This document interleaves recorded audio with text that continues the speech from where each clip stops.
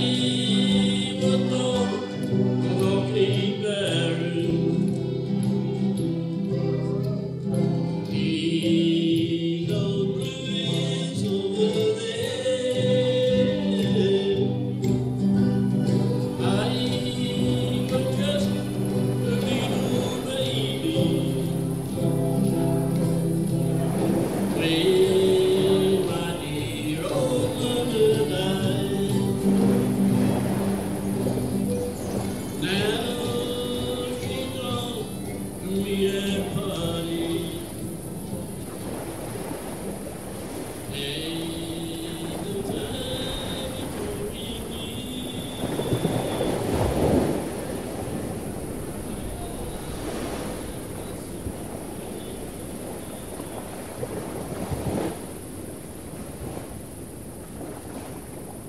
It's good when you look at the odds and realise that where, where we, how, how we started mutton Mm. when you look, all the memories you get. Well, the big island out on the out on its own there is Vansittart, but uh, the real name is uh, Gun Carriage. The one out in the, which is straight behind me right here, is uh, the one with the mountain in the middle. That's Big Dog Island, uh, otherwise known as Great Dog. To the right of that is Little Dog. And um, the one just closest is uh, Green Island. All the Aboriginal people, kind of bird next to it, own their own shed, didn't they? Ronnie? And, they, and then they, the white man would get them drunk and they sign a bit of paper. And they thought they signed paper to um, saying how much money they owed the white man from the night before for buying alcohol and uh, and they get up the next morning and they say, oh, well, I better get ready to go mutton bird. And they say, well, the white man look at you and say, well, you better come and work with me then because you haven't got a mutton bird shed anymore. You just signed it over to me last night. That's really how the old people lost issues shoes, wasn't it, you know, Mm. which is a shame. You know, it was our, it was our tradition and that's our, that's what happened, that's what they done to us, you know. Back in, back in our younger days, it was, this island was one of the worst islands you'd ever, ever live on.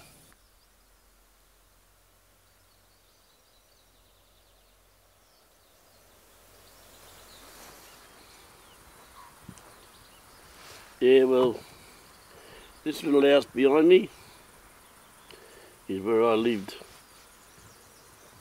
I was about five years old up till I was about ten years old. And uh, they finally built me and my mother and brothers a house on the road a bit. But this little house here was owned by my uncle, Frank Jackson. But my granny and grandfather was here. And the window you see behind me, that was granny and grandfather's bedroom. In the middle room was the lounge and the bedroom. And in the far end, of course, we had the kitchen. And um, a little porch at the end of that. So, most amazing thing about it, used to be eight people used to live in this house. And that was without the visitors that my granny and grandfather used to get. Can you remember when uh, my mother and father lived up Northern River? When they moved off Cape Barren, moved up there. I was a little baby. But they had three boys like Alan, Viv and Johnny.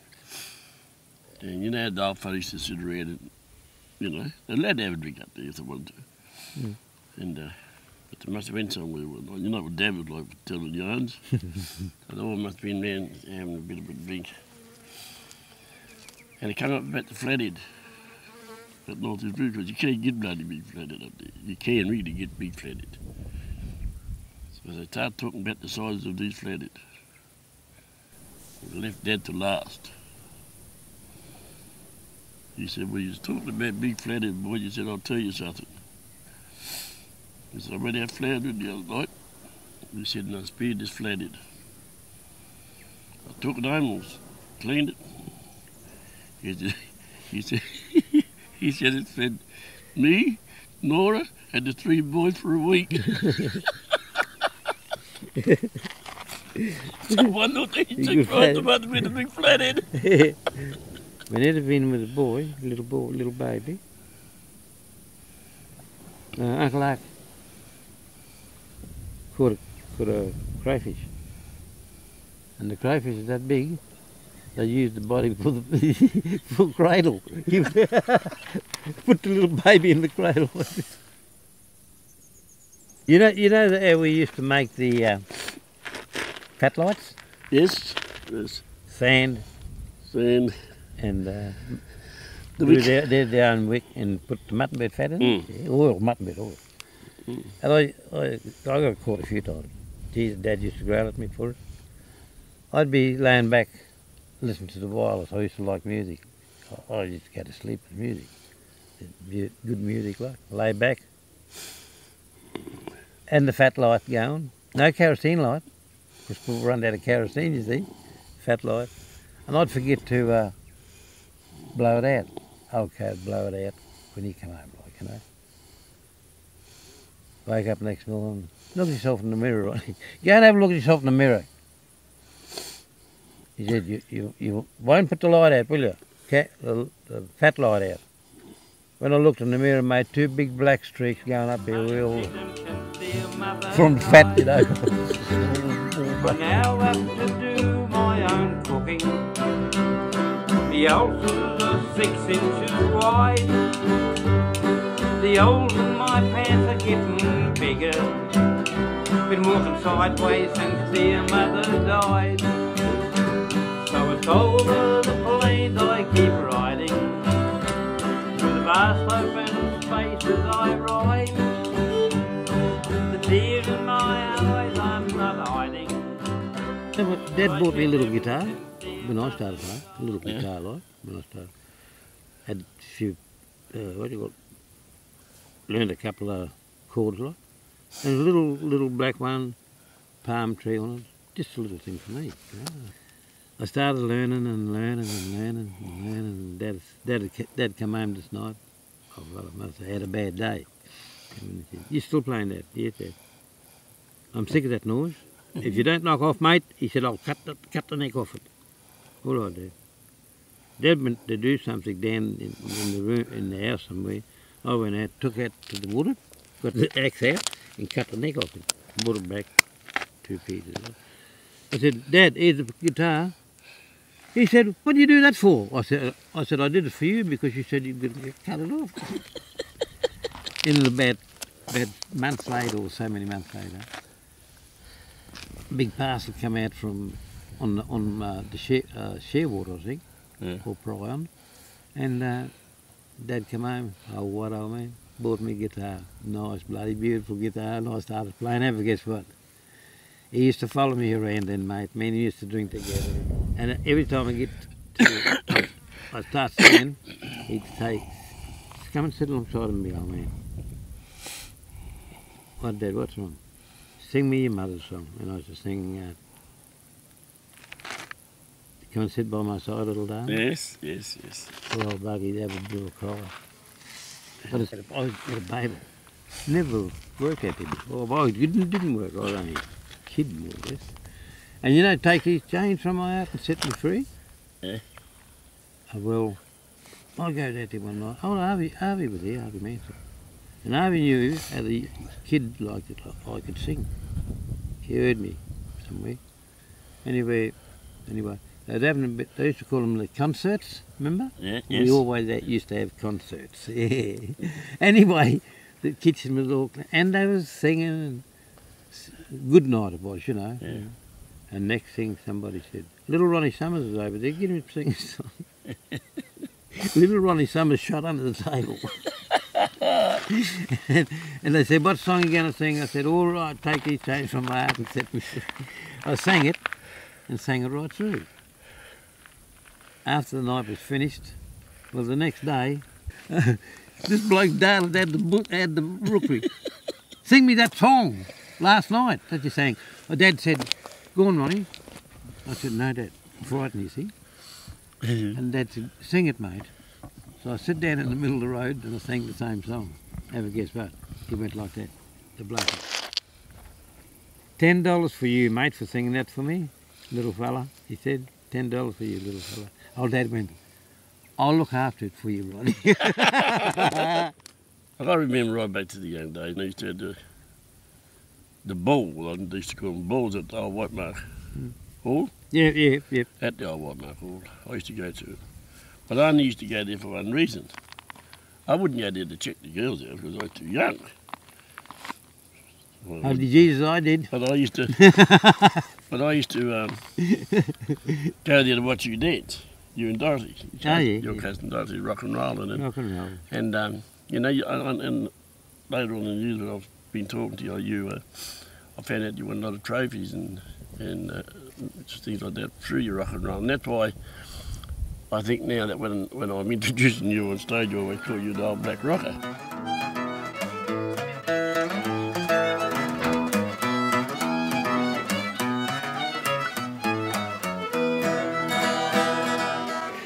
What was the other one we used to really get, get, take? Turkey in the straw, was it? Took in the street. The... Oh, I've forgotten that.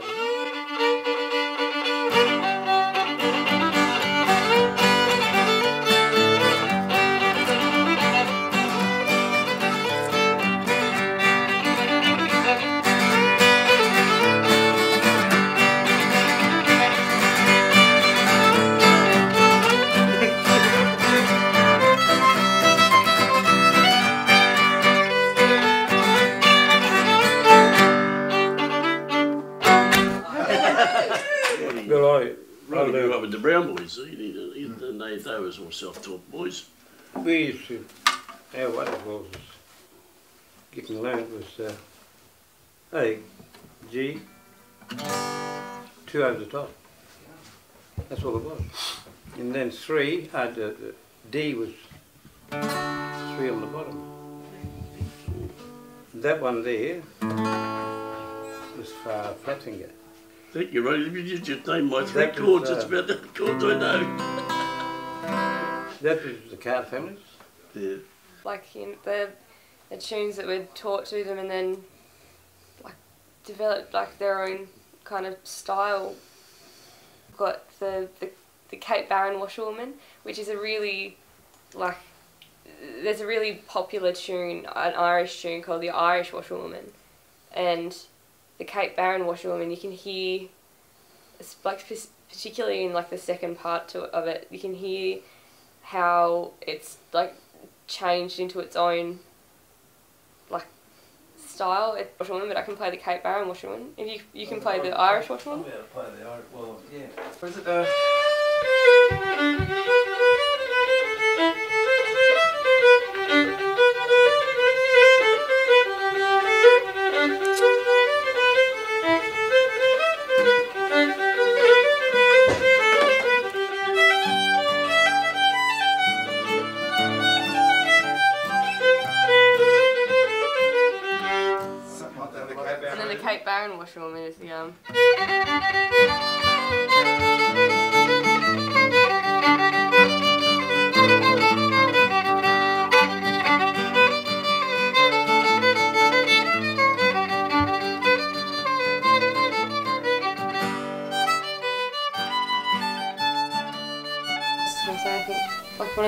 important things for me that I've been like thinking about over the last year after taking it back up is um like being able to pass on or like have that the uniqueness, the unique style of like playing like captured so that it's, that's not lost so that there's no because I've, I've never heard anyone play the same way that I've heard Les Brown play on those tapes and it's it's it's its own unique style, and I think that that's probably a really important thing to capture and try and keep going and keep it true to yeah keep it true to what it was. You know, our people, whether they're men or women, have always been musicians, if you like.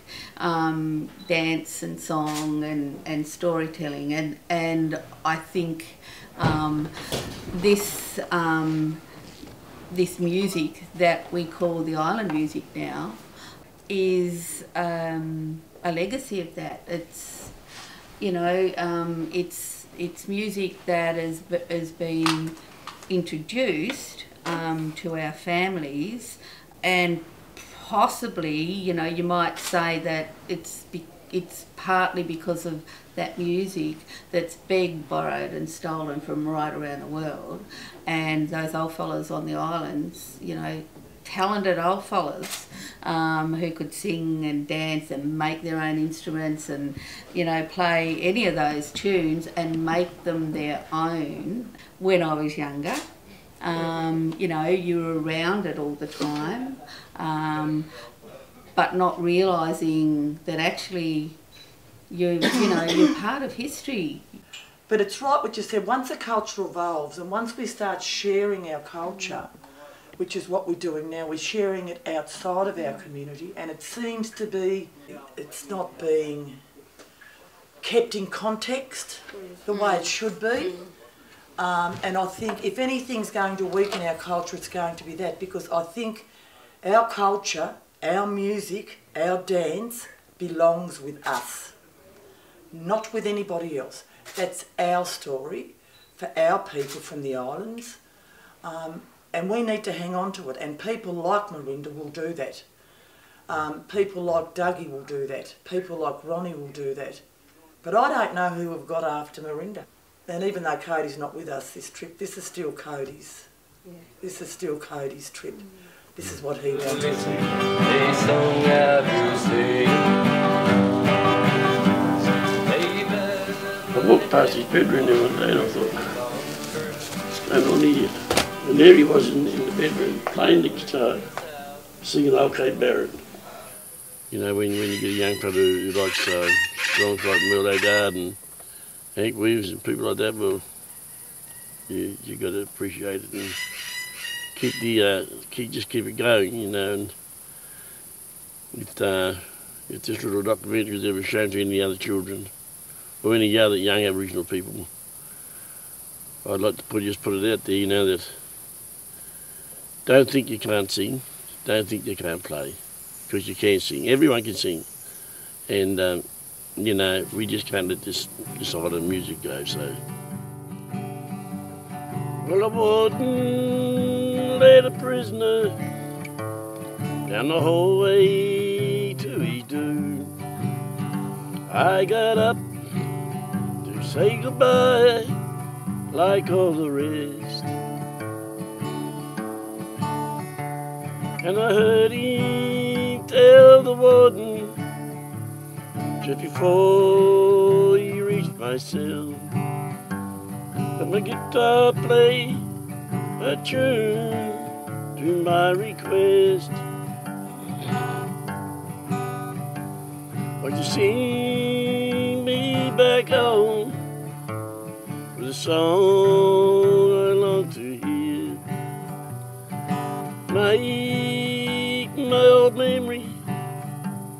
come alive. Then take me away and turn back the years. Sing me back home before I die.